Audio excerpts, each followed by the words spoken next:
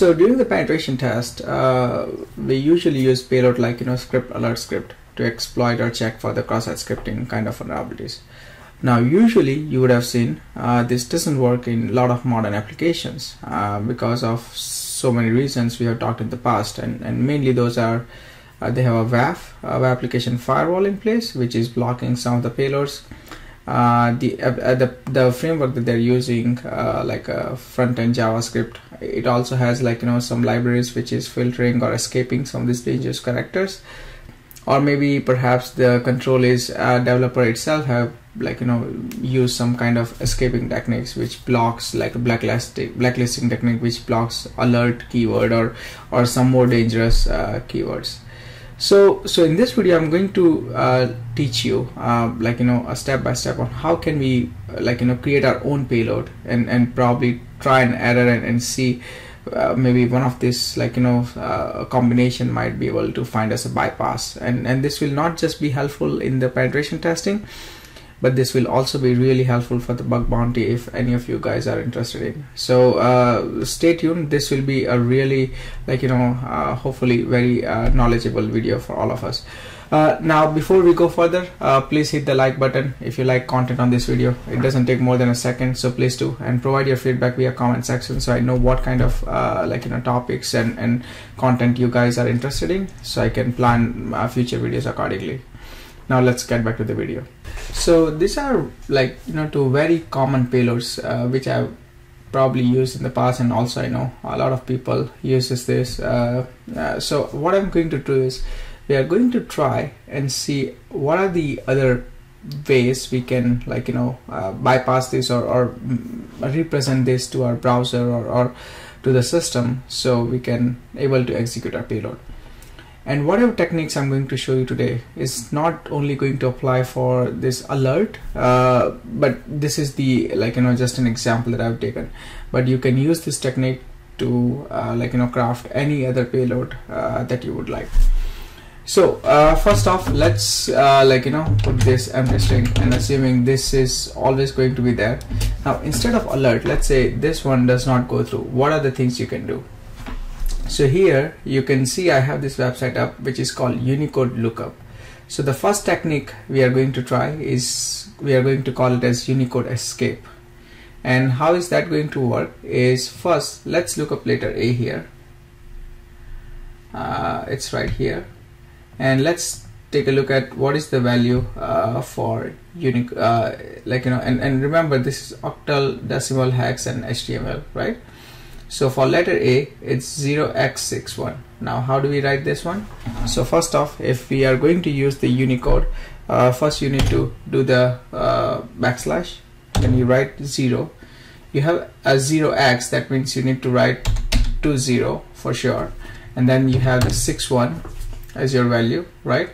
And then you can write LERT 1 and then put this string. Uh, like uh, round bracket. And that's one way to represent this.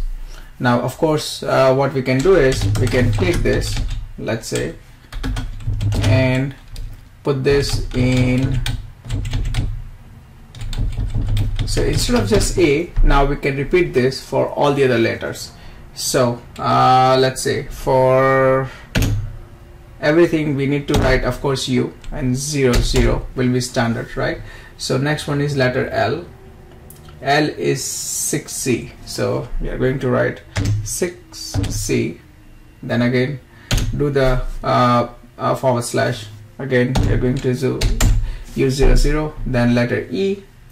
E is right here which is 65 so let's do this. Again Unicode 00 Next we are going to try with the letter R which is 72 and again do the 00, 0 and then the final letter is T which is 74 Alright, so this is how you can also represent the same string which is here. Alert uh, in this Unicode string and and that might be able to like you know help you with the bypass. So that's one way of doing it now the other way we can do it is uh, we have used previously uh, like you know eval like a native uh, that's one of the native function now again this is not the only so for example how do you typically write eval is you will have alert and then uh, you will do this Oops. and then you close the bracket then right this is how we have used uh, previously. So now instead of uh, like eval is just one example. Now you don't have to use eval uh, because this might also be blocked on by many filters and WAF. So instead of eval you can also use other uh, native functions. But in our example because we, I just want to show you the techniques and rather than like you know just giving you payloads directly. So you can play around and, and you can also try create your own payloads using this technique so what we can do is let's copy and paste. Now instead of here eval we can do the same thing. We can copy this 61 right? Or you can again uh, another thing we can do is simply copy this and then copy this and replace with here. This could also become your another payload so these are uh, like in a Unicode and native function examples. Now let's go even further. Why we only want to restrict ourselves to Unicode? We can also use other techniques like we can use hex and octal. As you can see, we have like you know all the information here.